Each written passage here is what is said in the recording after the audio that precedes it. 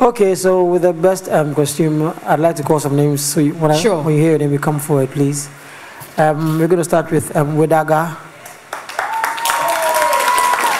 Arama, um, Kwansema, and Akosua.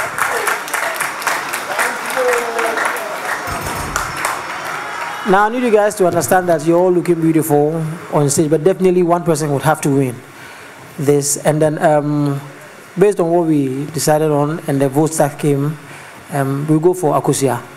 Akosua wins best costume for the night. Akosua, congratulations. All right, and you're getting a package from Enapa Foods. Kindly wait, Akosua, with your beautiful outfit. Kindly wait.